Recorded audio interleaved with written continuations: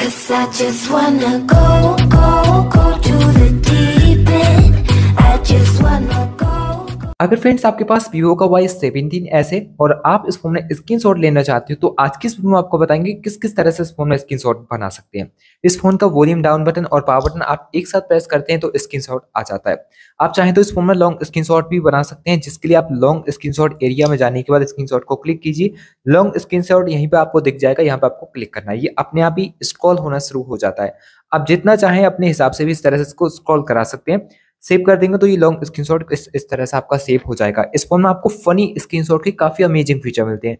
तो इनका यूज़ करने के लिए कंट्रोल पैनल को ओपन कीजिए एस कैप्चर देखने को मिलेगा। यहाँ क्लिक करने के बाद फनी स्क्रीनशॉट दिख जाएगा, इस पर क्लिक कर लेना है। अब तीन डिफरेंट तरीके आपको फीचर मिलेंगे, इस पर जब आप क्लिक कर देंगे तो यहाँ पे आपको कुछ इमोजी देखने को मिल जाएँगे जिनको सेलेक्ट करके आप इस फ़ोन में स्क्रीनशॉट बना सकते हैं, जैसे कि आप देख सकोगे कुछ इस तरह से। तो ये आपको ऑप्शन मिल जाएँगे। इसके अलावा आप एरिया को सेलेक्ट कर सकते हैं, जिस एरिया का आपको स्क्रीनशॉट चाहिए तो सिंपल यहाँ क्लिक कीजिए।